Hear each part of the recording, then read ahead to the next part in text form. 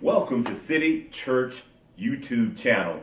I'm Dr. Michael Anthony Stevens on the behalf of my wife, Pastor Sharon, and all of the saints and friends of City Church, Huntersville, North Carolina. We welcome you to another dynamic preaching, teaching broadcast. These next few moments promise to be a blessing in your life, and perhaps it will be a blessing to those that you share this with. It is our endeavor, our dream, our goal that you know more about the gospel. That is the good news of Christ Jesus. May his kingdom come and his will be done. I want you to sit back and hear the word of the Lord. The Bible says that God sent his word and his word healed them and delivered them from their destruction.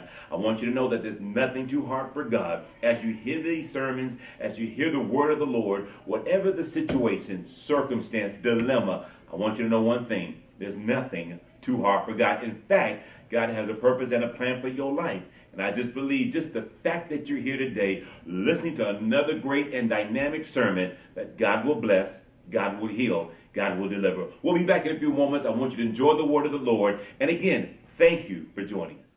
1 Corinthians chapter 11 verse 17 says, Now this I declare unto you and praise you not that you come together.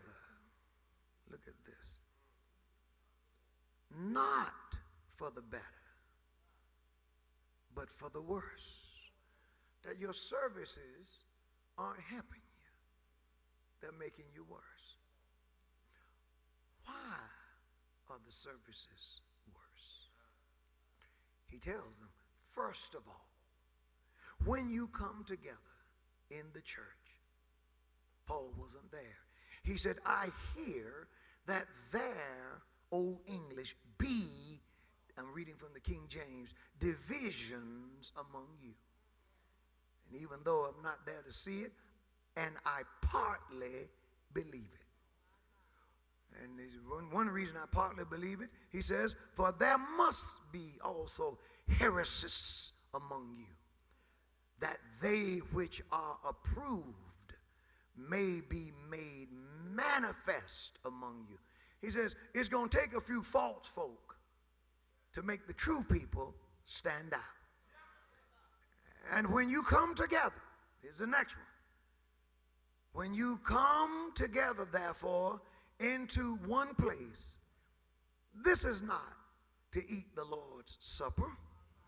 For in eating, everyone taketh before others his own supper. And one is hungry, and the other is drunken, and another is drunken.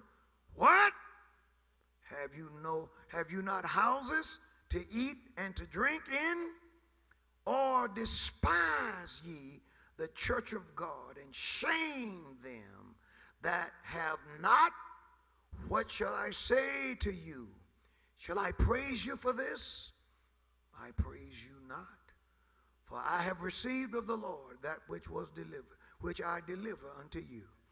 That the Lord Jesus, in the same night which he was betrayed, took bread, and when he had given thanks, he broke it and said, Take, eat, this is my body, which is broken for you. This do in remembrance of me. And after the same manner also he took the cup when he had supped, saying, This is the New Testament in my blood. This do ye as often as you drink it in remembrance of me. For as often as you eat this bread and drink this cup, you do show the Lord's death till he come. For as often as you eat this bread and you drink this cup, you announce what Jesus did on the cross until he comes. I want to preach just for a few minutes. Don't stop talking about Jesus. Hallelujah. Don't stop talking about Jesus. We've got to keep announcing this. We've got to bring it up. Amen. Father, bless us now We come against the spirit of timidity. We come against the spirit of fear. Oh God, give us strength to come out of the closets everybody else has and to stand on your word and to declare your truth. In Jesus' name, amen. The announcement don't stop talking about Jesus. The church at Corinth, I've often said this.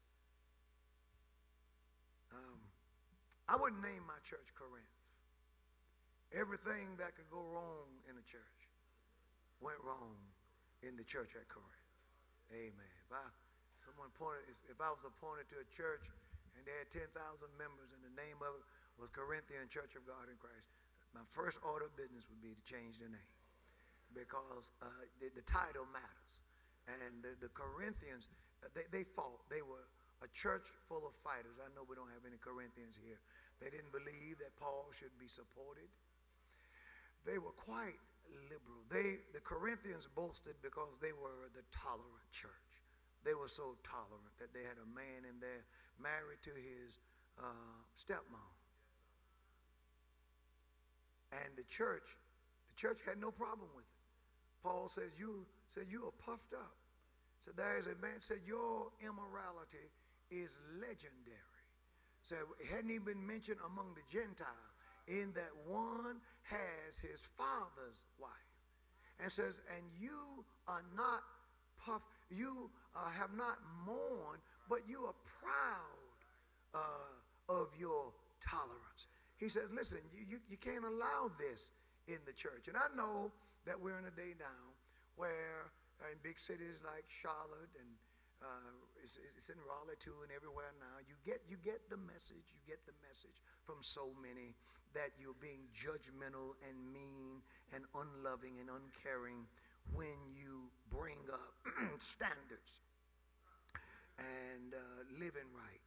But let me tell you, uh, God has called us to holiness.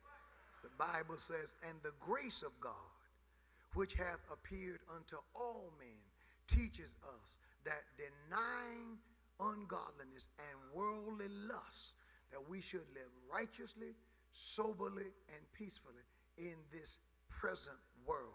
That's what grace teaches. We, I thank God for grace. But in addition to grace, we need standards. It, have you noticed in our country, most poverty is tied in America now. This is not true in the world, but in America, most poverty is tied to our behavior. It's the consequences of our behavior uh, a decision to either uh, play the field or to do something that we shouldn't do that robs us of educational opportunities, job opportunities, all kinds of things. There's a breakout right now of, uh, of uh, it's popular now, I guess, uh, for us to go into the, the, the, direction of the world, but we're making decisions that's going to affect our upward mobility, going to affect our ability to get into certain companies, certain jobs. We're doing things that hurt us. Amen. And and uh, and we blame it on the devil, but many times it is because we have abandoned standards. Amen. And and uh, uh, uh the younger they are, the better they are. We got to put standards in people. We've got to talk to our boys about pulling their pants up. Amen. We can't, we, we can't afford to ignore it. You, you, you travel like I do. Everywhere you go, you see the, the, uh, what is happening as a result of just letting standards go laxed, laxed, and laxed. And, and, if you, and if you'll notice, you don't see this amongst a whole lot of other people like you see it amongst us. They just did a survey the other day. And, and this was a, I think it was a, a, John, a Gallup poll. Was it a Gallup study? We did a survey of uh, 120,000 men. Now that's a large survey. That's a large. Normally when they do a survey, the sample is about 100, 1,000, a 1,000 or 1,003 people. 120,000 in a survey is a huge survey. And the survey showed that African American men today are 50 times more likely to identify as homosexual than their white counterparts. Now, it didn't say that African American men, uh, 50% of our men are homosexual. That's not what it said. But they are 50 times more likely to identify as homosexual as their white counterpart. Now, any way you look at that, that's bad news for us. That's bad news. That, that's saying that somewhere along the way, the ball has been dropped. And I contend that if you want to find where the most egregious, you want to find the most egregious droppers of the ball, you don't have to look far. It's, it's not the pimp, it's not the pusher, amen. It's the preacher. It's what we've chosen to preach about, it's what we've chosen to talk about. It's, it's, it's our expert. We've become uh, experts at saying nothing well. We pick uh, subjects that won't offend because the new thing, the new thing is not to be effective, it's not to have an impact, it's to get people in. It's to get people in. Don't you think that there's something wrong in the city of Houston where we have the largest church in our country? Joel Osteen has the largest congregation in America. And no one packs in 50,000 on a Sunday morning but him. But in the same city where he packs in 50,000 people, they built the largest abortion clinic in the country in the same city where there is a church with 50,000 people. Now, with 50,000 people in a church, don't you think that that church, if it had any influence at all, could have kept that huge abortion clinic from being built in that city? But no, we're swollen. We have big numbers, but we have small impact. And, and, and, and we're, we're, we're moving away. Many of these services are not good. There are churches today that celebrate at least one Sunday a month or so where they have what is called Oldies Sunday. So they come together in the church and in the church service play oldies 70s and uh, uh, God 70s R&B and the saints dress uh, and dance like that in a club in a church service preacher the other day to defend the rapper who got killed it said that um, uh, people uh, say I shouldn't the, the guy the preacher said they say I shouldn't defend Nipsey Hussle uh, because he, he cussed. But then the preacher said, But I got to admit, I cuss every now and then. And then uh, I can't defend him because he drinks. Then the preacher said, Well, I drink a little Hennessy every now and again. And guess what happened? The saints began to shout. The people began to shout and said, Go ahead. And you know, I would, I would like to think that if I told you that I was cussing and drinking liquor, I would like to think that whatever the conclusion is of this sermon, I would like to think you wouldn't be here, here to hear it. I would like to think that if I'm going to get up and brag on something like that, that that should say to you that something is wrong. They call that stuff keeping it real. Why is real always now with us uh, uh, uh, applied when we're talking about low standards? Why is it real when we're talking when we're talking about vulgar things? Why is that real? Why can't real be that God is a keeper? Why can't real be that if you fall, he'll raise you up and give you strength to carry on? Why can't real be that he is a deliverer? That used to be real. We pretend, we pretend that there's nothing to this thing and we're almost about to put ourselves out of business. Some of these church services are not good for us, they are bad for us. The gospel of inclusion is bad for us. It's bad. What Carlton Pearson is promoting is bad for us. I said today in leadership, those self, those uh, smartphones Smartphones have revealed things about us. The smartphones have revealed that we are stone narcissists. We're in love with our own image. Everywhere. Everywhere. Everywhere.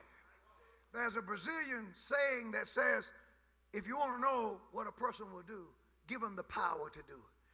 Some people who you thought was just all about God, all about the Lord. I mean, they would tell you, I don't know what you come to do, but I come to praise the Lord. And I'm not here to look at you, I'm just here to enjoy Jesus. All of a sudden, they put their camera on their smartphone. And now, every, I'm on my way to the bathroom. I'm on my way to the dentist. This is me standing beside, you know, and, uh, and, and we'll take a picture with anybody. Anybody. They, they can be wicked, and there you go. Something is wrong. Brother stopped me, uh, Dr. Stevens, last uh, November, and he wanted to take a picture with me. The man, I'm going to preach in just a minute. The man had on an orange or bright red jacket, a lady's jacket, came, came down to here. Tight. I don't say I could breathe. And a big lady's brooch right here. And some tight pants. And I just preached it. Everybody was shaking my hand. And he walked up to me. and He says, Bishop Wooden, I want to take a picture with you. Will you take a picture with me? I said, No. I will not take a picture with you. Not dressed like that. You, you are a man and you are dressed like a woman. I'm a man of God. What does that look like? I don't know what he's going to do. It would have been posted, it would have been all over the world in five minutes. Amen. So I said no. And so, and I, and I told him why. You don't need to be lying. I wasn't in a hurry. But I, I, I ain't got time to. No, no, no. I'm not going to take a picture with you because you, you don't look appropriate. There's something, there is such a thing as being appropriate. And uh, uh, you can't judge his heart. Well, make sure you don't try to judge mine. See, you need to listen to me. He didn't ask you to take a picture with him. He asked me. So I told him no, and I told him why. All right? So I saw him again last week. He had on a nice brown suit. He's probably watching. And uh, asked me again, will you take a picture with me? He looked, he looked nice. I said, no. I said, no. I've got to talk to you. I want to talk to you. I That's because, man, there's something that God wants to do in you. But I need to talk to you. Praise the Lord. And so I didn't. And the next night, I saw why God told me to tell him no. He had on come down to here, just as here. And they were tight, and they were black and white striped with a ladies' pants, uh, shoes, no socks. No socks. Y'all ain't saying amen. You got quiet. Let me look at you, brothers. Let me look around here tonight. I'm a holiness preacher. And you know what, preacher? I make no bones about being a holiness preacher. And I'm going to be a holiness preacher until I'm a dead preacher. Amen. And when I want to put on my stone, tombstone, holiness preacher. So, and there he is. And with a tight top, I called him, come here, come, come, here, come, come. I said, see, brother, that's why. I said, look at you tonight. Now, I love you, man, but you, you are dressed in a manner where your outfit is, you are screaming for homosexual sex. So now look at you. You are a tall, handsome, good-looking, tall, tall guy, black man who would make some woman a good husband. You'd be a good father. I said, but look at you, my brother. And I asked him, I said, are you homosexual? He said, no. I said, well, you can't look like this. He says, but I love fashion. I said, but that's not fashion. Now call me next week. Now, let, am I, where am I headed? If more of us would say these things, if if if if we could if we could just get a little help and and the rest of us would say the same thing do you not know it would affect the way things are done? But we're living in a day now where anything goes anything goes and people are so flattered look it, it is not a compliment to you uh, every time somebody want to take a picture with you we're not, we're not movie stars. We're not called to be stars. We're not celebrities. We're the people of the Most High God. If someone takes a picture, fine, but that is not what we do.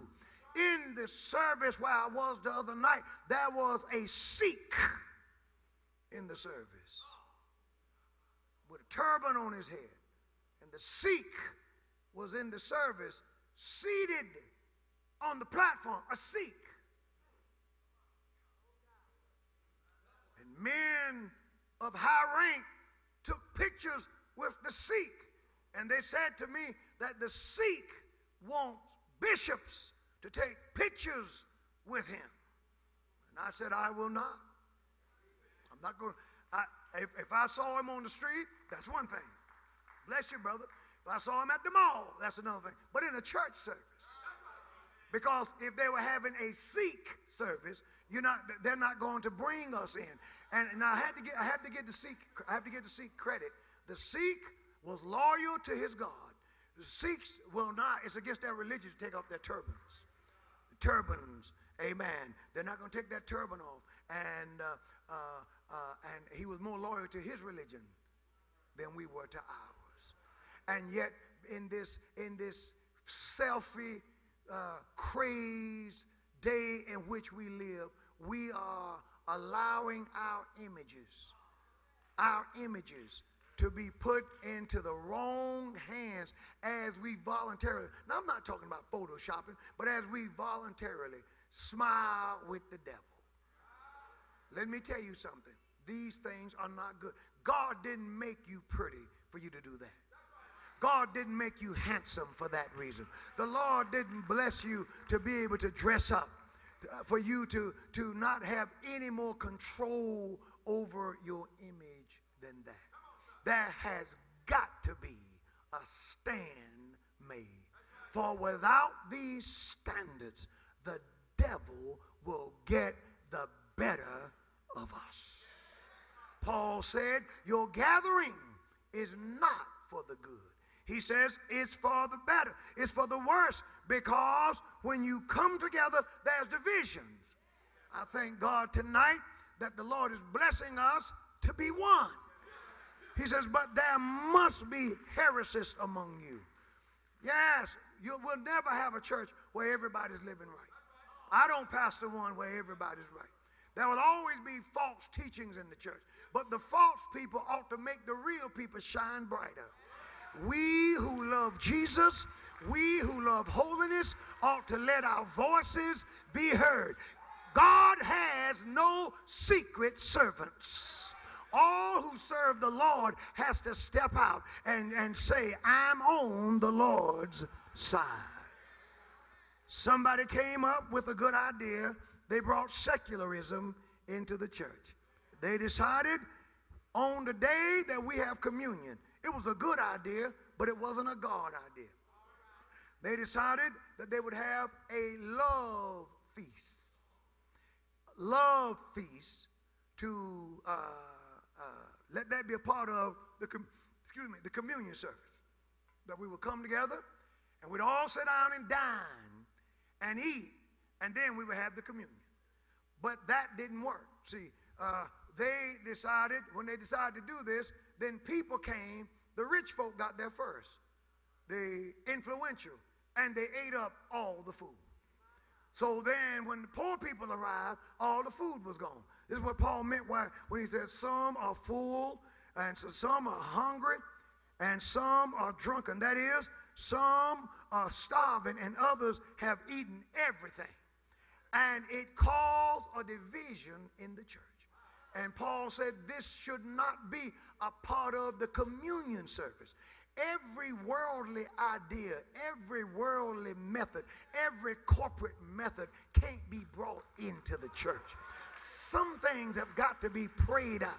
I'm, I'm not with the new secularization, this modern this modernization that's taking place in churches now, where the sacred cross is being removed, and churches look more like uh, uh, rock sound stages. And and uh, and our services sound like more of an Eagles concert than a church concert.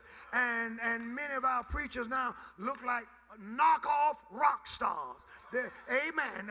They look like knockoff rock stars, and they're standing up preaching looking like uh, Glen Campbell. And they got the jeans, and they got their, their, their, their secular wear, and, uh, and they're, they're trying to look just like, praise the Lord, Mick Jagger. A, a, a, rock star for Jesus. Let me tell you something. We got to be whom the Lord have called us to be when the Lord saved me at the age of 16, what I loved about the church is that the church was different. I had to come up. Coming up in holiness reminded me of making the football team. You know what made me special, made me feel good about being on the team? Uh, all the guys who got cut, you had to make the team. That meant I achieved something. And I found out when I got saved that in holiness, that this thing is a highway. And, and in order to be holy, you got to come out of certain things. Got to quit doing certain things. And I liked it because it required something of me. It required that I give up something. And I found out that I was in a unique small group of young folk who were saved, sanctified, and filled with the Holy Ghost, and they were not ashamed. Do I have anybody in here tonight who's not ashamed of the gospel of Christ? Hallelujah. See, we got to be careful that we just don't usher in the world into our churches. It's still right to clap your hands. It's still right to praise the Lord. And I don't care what people tell you. You know, folks say, you know, all of this emotionalism. I don't get excited about this and I don't get excited about that and the other. Well, just watch the games. Just watch golf. Just watch football. Folks still get excited. They still get excited. They get excited about baseball. They get excited about basketball. A lot of them watching the game right now. Praise the Lord. Right now, they're watching the Warriors uh, and the, the Raptors play. People get excited, but what we've lost is our excitement for the Lord. And we've allowed the devil to cool us off. It's time to shift. I'm telling you. Because let me tell you something, uh, uh, uh, Brother Justin, uh, in our in our shut-in, I talked about it, and and see you're experiencing it, and and and we got to get ready for it. See, when you stand against against the devil, you have to be prepared for the pushback. You have to be prepared for what's coming. Because, see, when you make your stand and then the people are around it, everybody applauds. That's great. But when the lights go off and the folk go home, Satan is upset. And the devil would do everything he can to try to stop you. He'll come after your family. He'll attack your health. He'll attack your money. He'll attack, he'll attack, he'll attack. But my God, if you got some folk that you can get together with, and some people who can pray and know how to get into the presence of the Lord. The, the, the, the, Acts chapter 4 said, and being let go, they went back to their own company. They went and found some folk that they who they had things in common with with. And they began to praise the Lord together. And the Bible said they were filled with the Holy Ghost. We need to have church when we come together for church because when we go out there, the devil is going to try and destroy us. But I'm here tonight to declare that greater is he that is in us than he that is in the world. I'm glad and I am not ashamed of the gospel of Christ. I'm not ashamed to be different. I'm not ashamed to look like I'm saved and sound like I'm saved and, and, and, and, and act like I belong to a church where the gospel is preached with power and authority and where the word is taught with power and authority. In our last workers' meeting, our theme was preaching. But it was not preaching opposed to teaching. It was both. It was both disciplines combined. And we had the teacher and we had the preacher, and both delivered the word of God. And the preacher preached and the teacher taught, and the people were blessed. And that is the way the word of God has to be delivered. It is not of, it is not the will of God that we pit the preacher against the teacher and the teacher against the preacher. It is the will of God that everybody do a little teaching and do a little preaching and do a little preaching and do a little teaching. And we need some inspiration and some in, inspiration and some intellect. And we need all of these things to be able to stand against the devil. For Satan is coming against us. But I'm here to tell you tonight that if you stand on the word of God, you're going to win every battle. He said, Now you all have come together and you've secularized this thing. He said, This is not how you honor the Lord's body. He said, Leave your dinners at home. Eat at home. Go home for that secular stuff. He said, For it was uh, delivered unto me. He says, I received of the Lord that which I delivered unto you, that in the same night when our Lord was betrayed, he took bread as I now do. He took bread and, and gave thanks to it, and he broke it and said, Take and eat. This is my body which is broken for you. This do in remembrance of me. And after the same manner, he also took the cup. And when he had supped, saying, This is the New Testament in my blood. And this do as often as you drink it, uh, do it in remembrance of me. I want to say tonight, always remember Jesus. I know that the devil is busy. I know that Satan, uh, praise the Lord, is, is, is running to and fro. But don't you forget about Jesus because Jesus is more powerful than the devil. Jesus is the King of kings and he's the Lord of lords. He's still the lily of the valley and he's still the bright and morning star. Yes, he is. He's still the fairest of 10,000. He's the rose of Sharon and he's the soon coming king.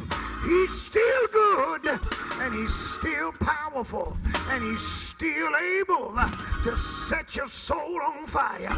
He's still able to lift a beggar from the dung heap. He's still able to give you joy in the midst of sorrow. He's still able to give you hope for tomorrow. And when you're down, down, and the devil is talking to you, and he's saying that you're not going to rise, and he's saying that I got you now, just remember that Jesus was laid in the grave for three days, but when the time was right, God raised him from the dead. We serve a God able to resurrect. We serve a God who is able to turn things around, but you got to keep your mind stayed on Jesus. Good God Almighty, the Bible said, Thou will keep him in perfect peace, whose mind is stayed on thee because he's trusted in thee.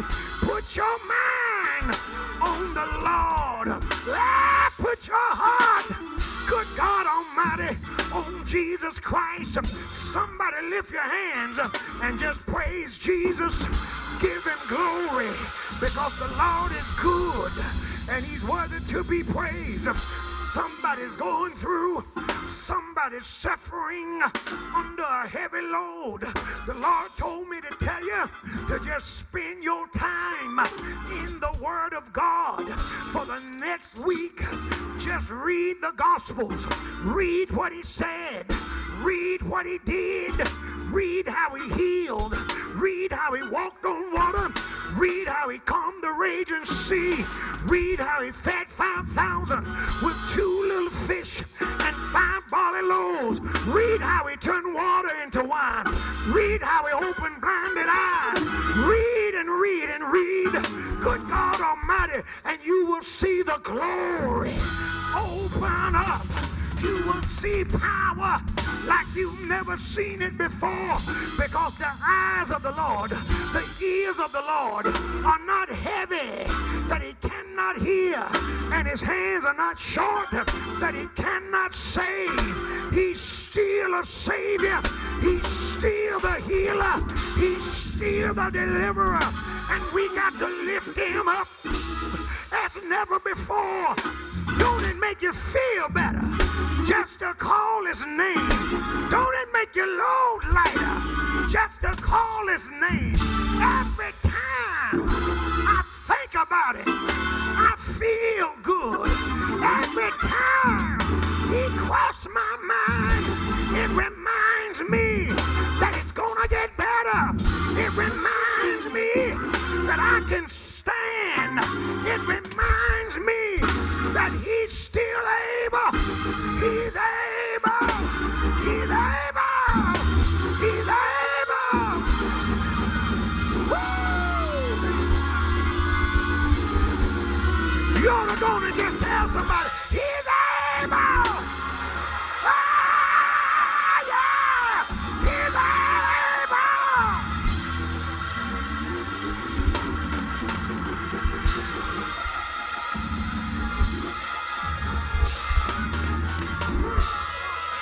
Is he able to do? He's able to do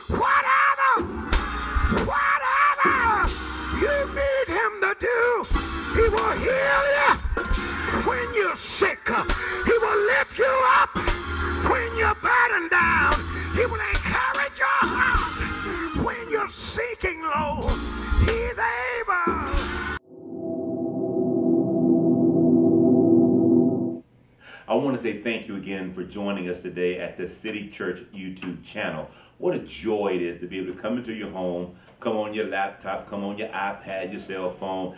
On the behalf of my wife, Pastor Sharon, and all of the saints and friends of the City Church, I just want to say thank you.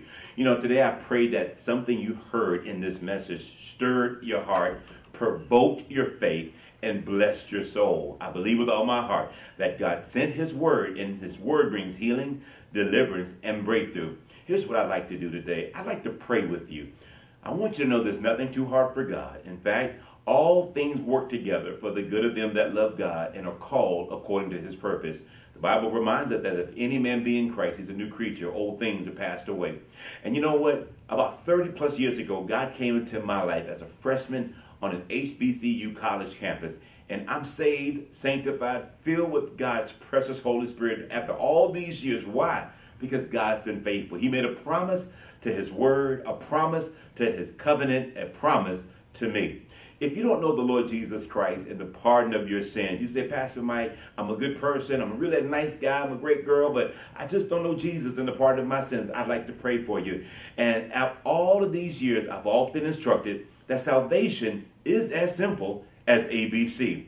A, admit that you're a sinner. The Bible says all have sinned and fallen short of the glory of God. B, believe in your heart and confess with your mouth that the Lord Jesus lived, he died, he was buried. Three days later, he rose again. C, commit your life, commit your heart to Jesus. After those ABCs, admit, believe, and commit. I believe that God comes into your life and you are a brand new creation, a brand new person in Jesus Christ. Let's pray together right now.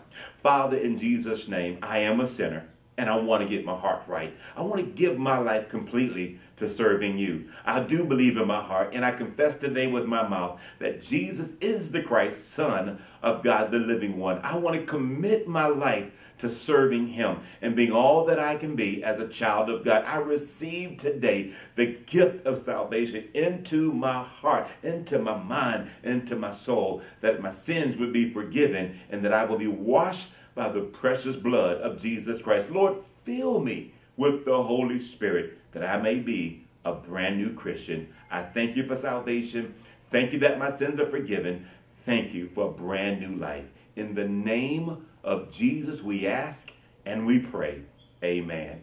My dear friend, you may not realize this, but that is the prayer of salvation. Again, it's a very simple process, simple prayer. Now, it will cost you to live this Christian life. But the Bible reminds us that greater is he that is in he, you, or greater is he that is in me than he that is in the world. Listen, if you're in the Huntersville, that is the Charlotte, North Carolina area, we'd love for you to visit us on Sunday mornings, 10 a.m. sharp, for a dynamic worship experience. If you can't be in the area, join us online, www.mycitychurchonline.com. All the information is on the screen. In fact, I'd like you to email me write me. We want to send you some information on the decision you just made to serve the Lord. Maybe you're rededicating or recommitting your life to the Lord. We want to make sure that you can grow as a born again, committed believer. Again, I can't thank you enough for allowing us to be in your world on this day. May heaven smile upon you and may the Lord richly bless you. I'm Dr. Michael Anthony Stevens on the behalf of all of the saints and friends